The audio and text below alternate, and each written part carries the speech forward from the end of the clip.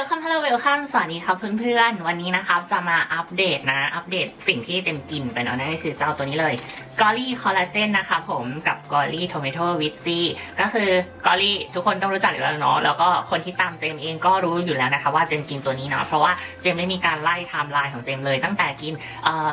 เจ็ดวันแรก 14 วันแรกนะคะผมจนตอนนี้นะเจมกินหมดไปแล้ว 2 ชุดนะคะผมบอกเลยว่าผิวอะมันดีขึ้นนะดีขึ้นแบบ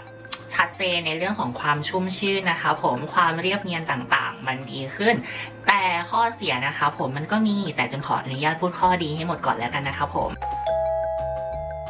มาเข้าเรื่องกันเลยดีกว่าสำหรับเจมนะคะ พอกินหมด 2 เซตใหญ่แล้วเนาะเจมรู้สึกว่าผิวอะมันชุ่มชื่นขึ้น ยืดหยุ่นขึ้น แต่งหน้าติดง่ายขึ้นนะครับ แล้วก็พวกแผลเป็นจากสิวต่างๆ เนี่ยมันดีขึ้นกว่าตอนที่ไม่ได้กินนะครับ อย่างชัดเจนเลย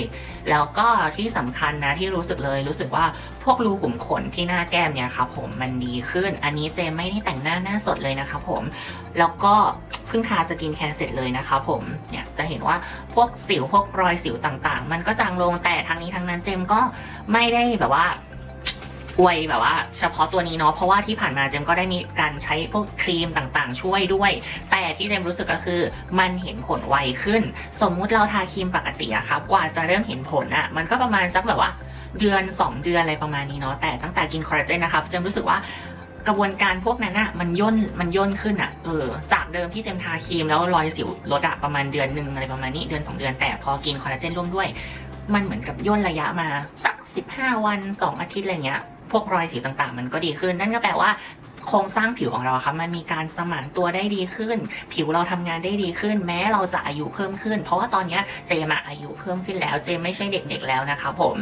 ต้องบอกก่อนว่าเด็กๆอะพวก ปัญหาผิวหน้าพวกรอยสิวพวกอะไรเงี้ยมันจะสมานตัวเร็วอยู่แล้ว แต่สำหรับคนที่เริ่มมีอายุแล้ว อายุมากขึ้นแล้วอะไรประมาณนี้เนาะพวกแผลสิวพวกอะไรเงี้ยมันจะหายช้ากว่าปกติเออเนี่ยแหละที่ทำให้เจมเห็นผล แล้วก็รู้สึกว่าเอ้ยมันมันดีนะมันดีนะ แต่ในเรื่องของสิวไม่ได้ลดนะคะ ผมพวกสิวอักเสบพวกอะไรเงี้ยยังเป็นปกติอยู่ แต่สิ่งที่มันลดเกี่ยวกับสิวก็คือ พวกแผลเป็นหลังเป็นสิวเนี่ยมันรู้สึกมันสมานตัวดีขึ้นนะคะ ผม สิ่งที่รู้สึกก็ประมาณนี้เนาะแล้วก็รู้สึกว่าผิว มันสดใสมากขึ้นกระจ่างใสไหมผ่องๆแล้วกันเนาะเจมก็ยังไม่กล้าใช้คำว่าขาวขึ้นอะไรขนาดนั้นเจมก็รู้สึกว่าผ่องๆขึ้น เพราะว่า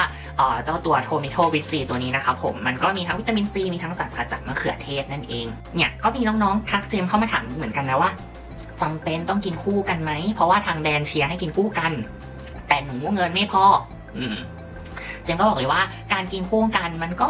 มันก็ส่งเสริมซึ่งกันและกันนะครับแต่ถ้าใครมีงบไม่เพียงพอจริง ๆ แต่อยากที่จะเริ่มดูแลตัวเอง เจมแบบว่าแนะนำให้กินแค่ตัวนี้เริ่มต้นก่อนก็ได้นะครับผมก็คือตัวซองส้ม Tomato Vit C เพราะว่าตัวนี้นะ มีทั้งวิตามินซีมีทั้งสารสกัดจากมะเขือเทศนะครับ ก็จะช่วยเรื่องของผิวเราได้อย่างเต็มๆ เหมาะสำหรับเด็กๆ น้องๆนะครับ ที่แบบว่าอยู่ในวัยมัธยมอะไรแบบนี้เนาะเพราะว่าคอลลาเจนเนี่ย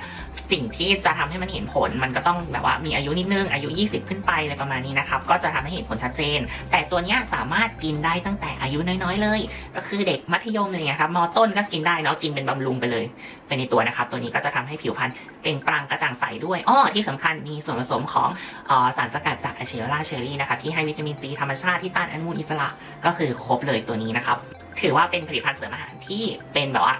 การดูแลผิวแบบพื้นฐานไปได้เลยนะครับสำหรับซองส้มเนาะก็เชียร์สำหรับน้องๆที่อยากเริ่มดูแลตัวเองแล้วกันนะสำหรับซองส้มแต่ถ้าใครมีอายุ 20 ปีขึ้นไปนะคะผมก็แนะนำให้กินคู่กับคอลลาเจนแล้วกันจ้าและสำหรับข้อเสียนะครับของ Glory คอลลาเจนนะครับจากที่เจมเป็นผู้บริโภคจริงๆเนาะเจมก็รู้สึกว่า Glory คอลลาเจนเนี่ยนะครับผมข้อเสียของเขาก็คือ 1. ราคาที่อาจจะค่อนข้างสูงนะครับผมถ้าเทียบกับแบบว่าแบรนด์อื่นๆ หรืออะไรแบบนี้เนาะแต่บอกเลยว่า การที่เราจ่ายราคาเพิ่มขึ้นเนี่ยเพราะว่าเกรดวัตถุดิบของเขา มันก็มีราคานะคะผมเพราะว่าตัวนี้เป็นคอลลาเจนจากญี่ปุ่น แล้วก็เป็นมะเขือเทศจากแบบสวิตเซอร์แลนด์อะไรแบบนี้นะคะผมมันก็จะมีราคาที่เราต้องจ่ายเนาะแต่เจมก็มองว่ามันจะต้องมีงบนิดนึงอะไรประมาณนี้เนาะก็เลยเป็นข้อเสียสำหรับคนงบน้อยแล้วกันนะ แล้วก็อีกอย่างหนึ่งนะคะผมที่เป็นข้อเสียก็คือเจมรู้สึกว่ามันอาจจะต้องกินเยอะหลายเม็ดนิดนึงนะครับสำหรับคนที่กินยายากนะเออแต่ถ้าใคร กินยาแบบว่าได้ปกติเลยนะครับ อันนี้ก็ไม่เป็นปัญหาเลยนะ เพราะว่าด้วยความที่เขาเป็นแคปซูลมันกินง่ายนะครับผม ดังนั้น ถ้าใครแบบว่ากินยายามันก็จะเป็นข้อเสีย แล้วก็ถ้าใครมีงบน้อยก็อาจจะเป็นข้อเสีย นี่ก็เป็นข้อเสียนั่นแหละ นอกนั้นก็มีข้อดีเลย ก็เอาเป็นว่านี่นะคะก็เป็นอีกหนึ่งความเห็นของเจมส์นะ เป็นอีกหนึ่งเสียงของผู้บริโภคแล้วกันนะครับกับ Glory คอลลาเจนนะครับถ้าใครสนใจ Glory คอลลาเจนนะครับแล้วก็อยากที่จะเริ่มดูแลตัวเอง อยากที่จะกินอาหารผิวนะ ก็ลองไปตามกันได้นะคะ ผมใครมีงบก็จัดเลยจ้ะตัวนี้ดีครับหวังว่าคลิปวิดีโอของเจมส์นะคะจะเป็นประโยชน์ในการประกอบการตัดสินใจซื้อของทุกคนนะ แล้วถ้าใครอยากให้เจมส์รีวิวอะไรก็คอมเมนต์พูดคุยกันได้นะครับผมวันนี้เจมส์ขออนุญาตจบคลิปวิดีโอเพียงเท่านี้นะ แล้วพบกันใหม่วิดีโอหน้าครับ วันนี้ไปก่อนแล้วบ๊ายบาย